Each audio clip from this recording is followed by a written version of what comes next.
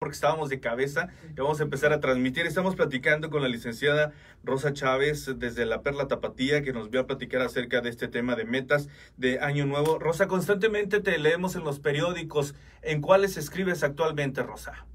Pues mira, este, me publican ahí. Yo hago una editorial este, semanal y, y, lo ahorita no estoy en la televisión.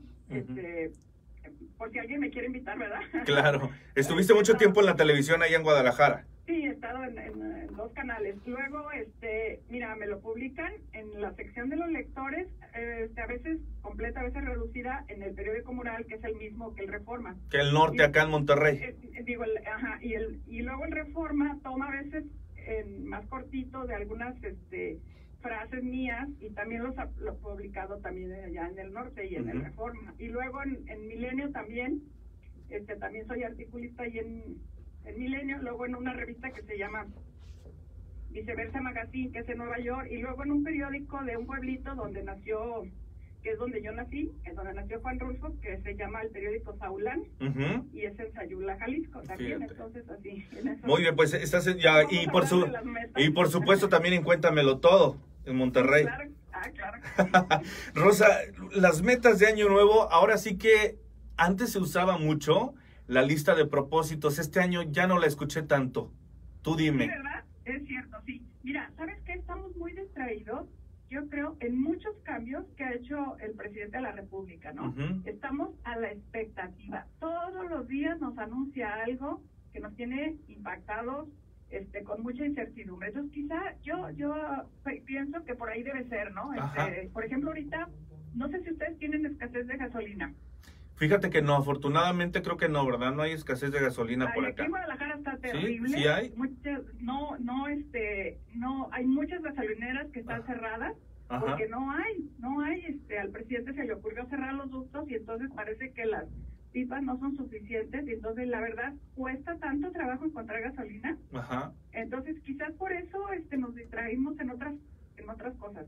Pero cada año, este, todos corren a inscribirse al gimnasio. Ahora te voy a decir que el año pasado mucha gente le batalló muchísimo, han subido las cosas de precio de manera exagerada. Entonces quizás por eso este año no corrieron tanto a inscribirse a los gimnasios, ¿verdad?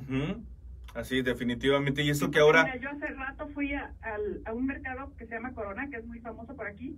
Y mira, yo compré unas semillitas que se llaman cardamomo, que tienen muchísimas propiedades y hace unos meses me costaba 650 pesos el kilo. Fíjate, es, la hierba más cara, sí, pero con poquito tiene uno. Pero este año está en 900 pesos. Ándale. lo que subió.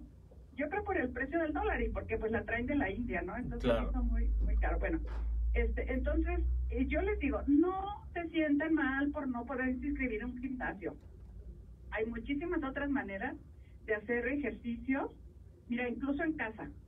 Este, cuando no puedan salir por el clima, porque andan a la carrera, si están bien de salud, suban y bajen escaleras. Eso yo lo hago muy frecuente, ¿verdad? Este, otra es, bueno, en la televisión, este, en internet pueden encontrar, este, alguna rutina. Claro, y ahí la sigue, ¿no? otra cosa es, bueno, pues igual si el clima lo permite, pues salir a caminar. Eso es uno de los este, ejercicios más benéficos, a, paso rapidito. Y si tienen un parque cerca, pues mejor, ¿no? Definitivamente. lo primero, dijo, eso es en cuanto a adelgazar. Si quieren ustedes bajar de peso, porque ya en estas fechas ya se pasaron de lo que ya estaban. Entonces, primero hay que definir, ¿no? ¿Qué es lo que quieren? Definir, definir nuestras metas. Así es. No solamente, una de las metas no solamente es bajar de peso sí, qué bueno que, que sea su enfoque y realmente lo cumplan porque pagan, por eso los gimnasios cobran por anticipado, porque ya sabe que en unos meses, así somos, no van. Este, ya, ya se les acabó y ya no van, Muy pronto no se rompe eso que se llama resistencia al cambio. Resistencia al cambio es que tú vas caminando, estás como en una orilla y hay un puente y lo tienes que buscar para pasar al otro lado. Es cierto. Entonces como que se asustan y ya no pasan al otro lado y dice, mejor aquí déjenme como estoy. En, del confort. Exacto, eh, a nuestro ego le dice, déjame como estoy, de manera así como inconsciente, entonces no le gustan los cambios porque somos animales de costumbre, entonces este, la costumbre se vuelve una ley. Claro. Pero mira, hay otras cosas, otras metas que podemos hacer, por ejemplo, que, que bueno, ya tienen no sé cuántos años en, en conflicto de pareja. Así y entonces ya, ya, oye, si no se van a arreglar, pues entonces ya este, promuevan el divorcio. Pues ahora no es necesario andar firmando papeles, que por yo que soy terapeuta de parejas, les digo, no es necesario andar firmando un papel, simplemente va, tomen la decisión y pues ya uno y otro sálganse de su casa, pues, ¿no? O sea, pónganse de acuerdo. ¿Para qué estar mortificándonos la vida? y a los hijos, a los hijos realmente les destruyen la vida porque luego los triangulan. Sí, pero muchas veces dicen, no me, no me separo por los hijos. Ajá. mira, les preguntan, yo te digo, los escucho aquí cuando usted le dice, mamá, pero ¿desde cuándo lo deberías de haber hecho? Híjole. ¿verdad? Y entonces dices, no es cierto eso de que no lo hacen por, lo hacen por, por miedo, por capricho, porque eh, están en lucha de poder, o sea, las causas son muchas. Por una codependencia bárbara también a, a la mala vida. Se destruyen terriblemente, ¿no?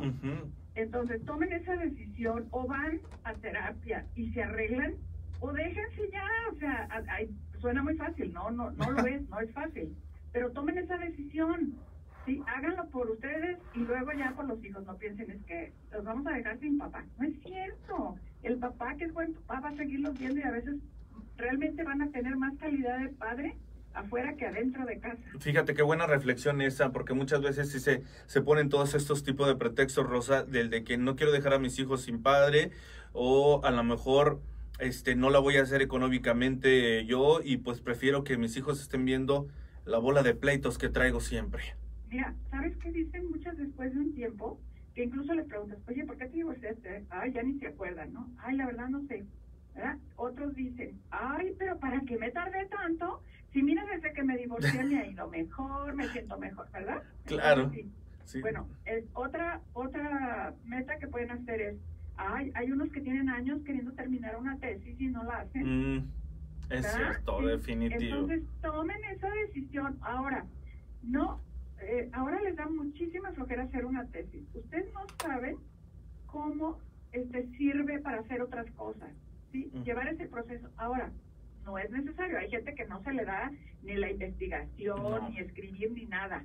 Pueden pedir ayuda y ustedes, pues, con esa otra persona eh, van diciéndole, revisando y eso, porque ahora pagan porque se las hagan. No, definitivamente, horrible. No, tienen, no tienen, y sí, hay varias que se dedican a eso y les va muy bien. Es cierto. O se roban otra, también lo hacen, ¿no? Sí, claro. Entonces, bueno, no es indispensable. Ahora las universidades, por ejemplo, el TED no les pide que hagan una tesis.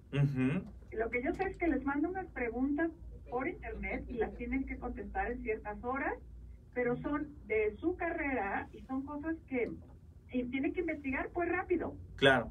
Entonces, sí, ¿para qué perder el tiempo en una tesis que a lo mejor ni te gusta ni te va a servir? Pero otra es, este, hay, hay este, cursos para no hacer tesis, pues digo, ya entrenle, ¿no? Si me encanta cerrar y terminar bien algo que empezaste, eso es bien interesante, porque si no, hay gente que deja abierto y abierto y abierto y no cierran nada, no terminan nada. Definitivamente nos quedamos con esta, con esta analogía que haces, el de cerrar para poder seguir abriendo historias, Rosa. Pues te agradecemos muchísimo, Rosa. ¿Cuál sería tu mensaje final para cerrar esta charla? Bueno, pues mira, este, aquí hay un, un, pequeño ejercicio que pues es muy profundo, que se llama las 3D. A mí me gusta mucho compartirlo porque primero es un deseo. Escribe cuál es tu deseo. Ese deseo de, como ya lo dijimos, cuál, que tiene que ver con una meta, ¿no? Luego te disciplinas a decir, a ver, ¿cómo le voy a hacer? Si voy a bajar de peso, ¿cuál va a ser mi disciplina? Caminar todos los días, ¿a qué horario? Hay que ponerse un horario y luego, este, si es, voy a dejar de fumar, voy a dejar de, de comer ciertos alimentos. Ya cada quien, y escríbanlo a mano, como sea, para que... Para tenerlo presente, claro. Y el último, la última vez es la decisión. Ya tienes todo lo demás, ya tienes el plan, ya tienes el mapa, ya sabes a dónde vas a ir. Ahora decídete hacerlo, compras tu boleto. ¿Cuál es tu boleto? Sentirte mejor contigo mismo con eso cerraría. Muchísimas gracias, Rosa. Te mandamos un abrazo. Feliz año. Ya no me doy mi teléfono. Adelante, por supuesto, y tus redes sociales. Sí, este, 3 veces 3, 166 9272. Ese es mi teléfono y todas mis redes sociales me encuentran como Rosa Chávez en mi página y en, todo, en Facebook, en, todos me, encuentran, en Instagram, en todos lados. Muchísimas gracias, un abrazo y feliz año, Rosa. Hasta luego. Gracias, continuamos, esto es Cuéntamelo Todo. Vamos a una pausa, regresamos.